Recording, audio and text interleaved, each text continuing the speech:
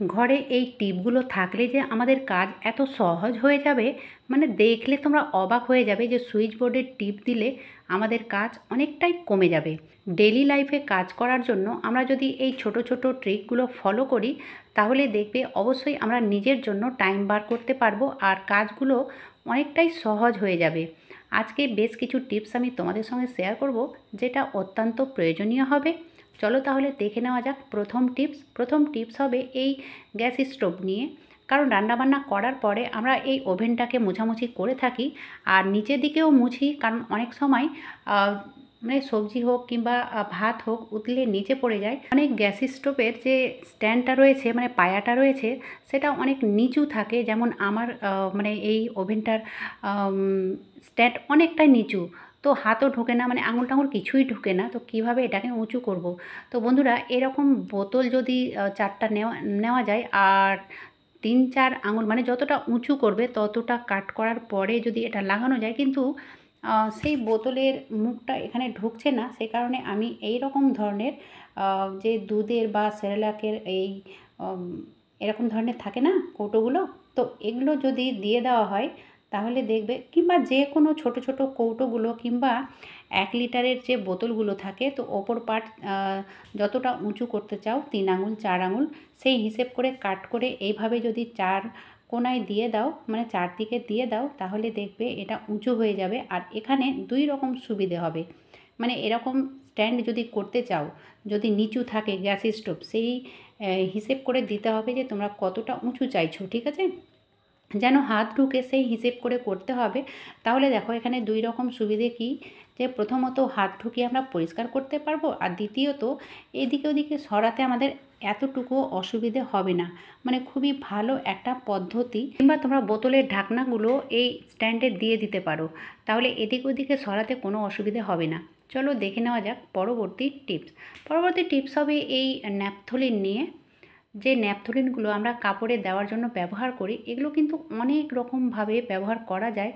আর এটার অনেক গুণ বা অনেক কাজ রয়েছে। যেমন ধরো, প্রথমত হচ্ছে যে আমরা এই সিঙ্কে একটা করে দিয়ে রাখি যেন সুন্দর একটা স্মেল আসে আর নিচে থেকে কোনো পোকামাকড় আসবে না। দ্বিতীয়ত হচ্ছে আমরা ডাস্টবিনে এরকম দিয়ে থাকি। তো প্রথমে ডাস্টবিনে দিয়ে দিতে হবে, তারপরে ক্যারি দিতে হবে। তাহলে কি বলো তো ডাস্ট ফেলার পরে ক্যারিটাকে ফেলে দেব, কিন্তু ন্যাপথলিনটা থেকে যাবে বালতিতে। তো যাই হোক, আমি আরও একটি পদ্ধতি তোমাদের সঙ্গে শেয়ার করব, যার জন্য নিতে হবে একটা বোতল। ঠিক আছে? তো আমি এখানে ছোট্ট দেখে বোতল নিয়েছি যে আড়াইশোর বোতলগুলো থাকে। তো স্টিকারটাকে ছাড়িয়ে নিয়েছি। তারপরে দেখো, আমি একটা শিক গরম করেছি। আর শিক গরম করার পরে এখানে ফুটো করব অনেকগুলো। তো শিকটাকে আমি একটু ঘুরিয়ে ঘুরিয়ে ফুটোটাকে বড় করে নিচ্ছি। মানে বড় বড় একটু ফুটো করব। তো অনেকগুলো মানে যতটা সম্ভব হবে ততটা ফুটো করে নিয়েছি। কিন্তু মিডিলে আমি কিন্তু ফুটো করিনি, ঠিক আছে? তোমার দেখে হয়তো বুঝতে পারছ, মিডিলে দুই আঙুল আমি ফুটো করিনি, কারণ এই জায়গাটুকু আমি কাট করব। চলো এটা কাট করে নিচ্ছি। কাট করে নেওয়ার পরে এটা কি কাজে আসবে আর কীভাবে আমি ন্যাপথলিনটা এই বোতলের মধ্যে মানে কি কাজে লাগাবো? তো সব থেকে প্রথমে এখানে নিয়েছি আমি এই যে নিম পাতা, ঠিক আছে? তো খানিকটা নিম পাতা আমি এই বোতলটার মধ্যে দিয়ে দেব।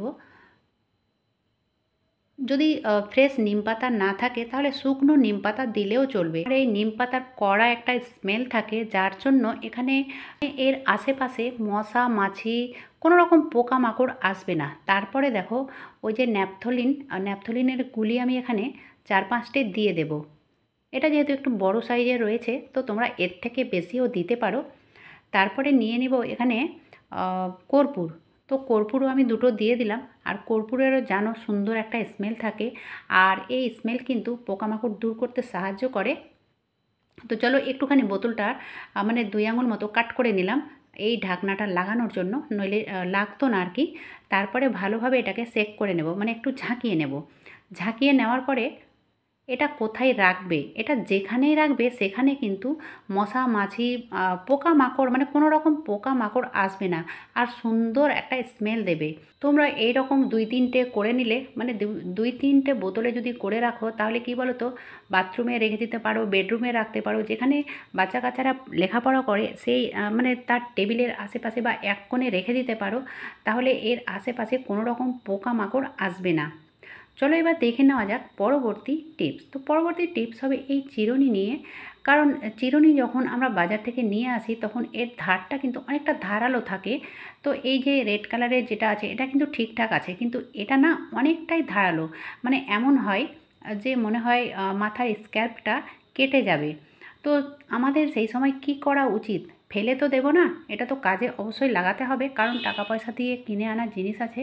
তো এই দেখো বন্ধুরা যে নেল পলিশ, প্রত্যেকের ঘরে ঘরে নেল পলিশ থাকে, যে ঘরে মহিলা আছে সে ঘরে তো নেল পলিশ থাকবেই। তো যাই হোক, এই, আমি তো নেল পলিশ লাগাই না, কিন্তু ঘরে রাখি।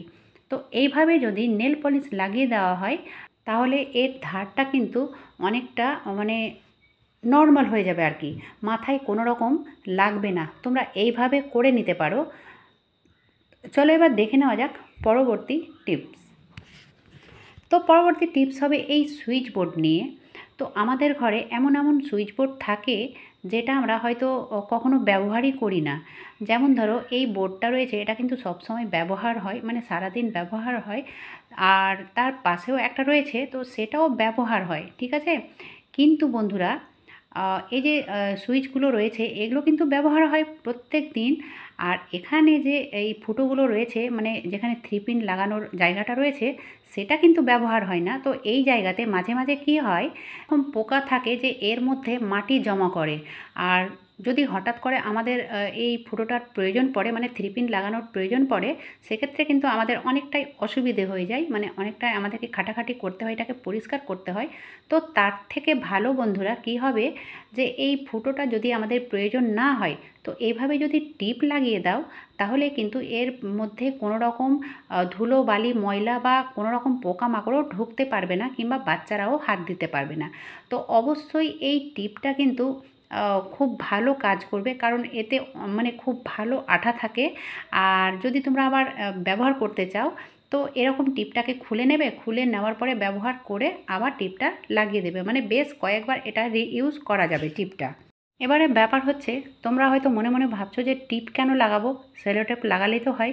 হ্যাঁ বন্ধুরা, এখানে তোমরা স্যালোটেপও লাগাতে পারো, কিন্তু কী বলো তো টিপটা লাগালে দেখতে ভীষণই ভালো লাগে। মানে খারাপ তো লাগবেই না, বরঞ্চ দেখতে ভালোই লাগবে। তো তোমরা এইভাবে টিপ ব্যবহার করতে পারো, যেটা তোমরা থ্রি পিন মানে ফুটোটা ব্যবহার করো না যে জায়গায়, সেই জায়গায় এভাবে টিপ ব্যবহার করতে পারো। তো কেমন লাগল বন্ধুরা? আজকের ভিডিওটা যদি ভালো লেগে থাকে, তাহলে অবশ্যই লাইক শেয়ার সাবস্ক্রাইব করতে একদম ভুলবে না।